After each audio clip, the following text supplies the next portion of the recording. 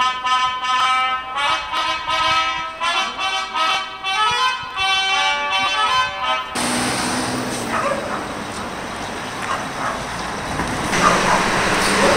Christmas Day, but there's not much that's closed today. Uh, it's what we used to call a bank holiday. I don't know what Americans say anymore. Um, it's just, it's a federal, it's a national holiday.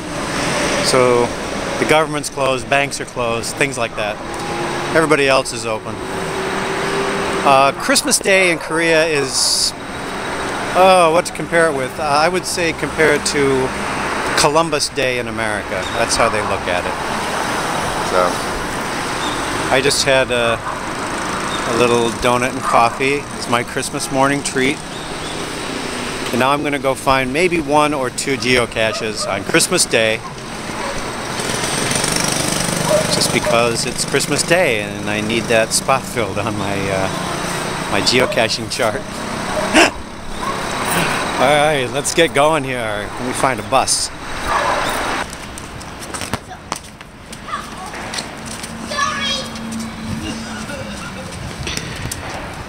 Well, this was the uh, hint for this cache because I couldn't find it. It's the hint was the picture, and it looks like it's hard to see on my iPhone, but it looks like uh, this was the angle that the picture was taken. So I'm guessing that that bench thing there is supposed to be the hint. I can't find it. It was muggled. I, I read the logs. It was muggled. The guy came and replaced it. Personally, I, I would say that in a place like this, if your cache is muggled, shortly after you place it, it's not a good place for it. But he put it right back where where he where the other one was. So, um, it's been found this year. I think uh, September was the last time it was found. I'm not sure. I read I read about a lot of caches, so I can't remember exactly, but um, yeah, there's nothing here that I can see. I took my knife and I went all the way around the, the bench here in, in the cracks, digging out the trash. A lot of trash fell out, but no geocache fell out. I looked at the tree. Yeah, I don't think it's here. Of course, it's hard to say. Could be. But for me, it's a DNF. Wasted trip to Myeongak. The next closest cache is uh, almost 800 meters away up in the up in the hills. I didn't really plan to go hiking today, so what I'm going to do there's a, there's another one supposed to be down um, in a place called Danjong, near not too far from the train station. I'm I'm picking caches that are close to the train station because I don't want to go wandering today. So I'll go down and see if this one in Tanjong is there. I want, I want to log a find on Christmas Day. It's 107 p.m. already. Wow. Hmm. This area here is ground zero. This is where the uh, coordinates zero out.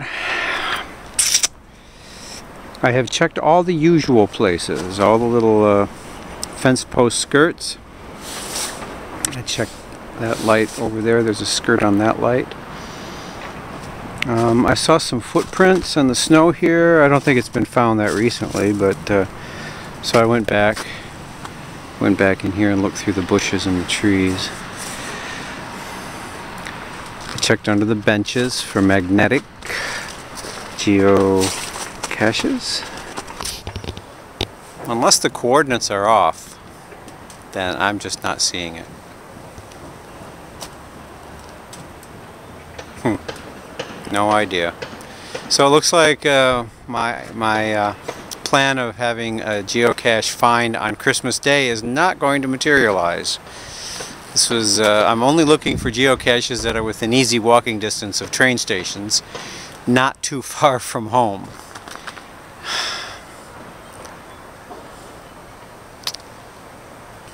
This is it. I these two, Myongak and this one. That's it. So, I'm out of luck today.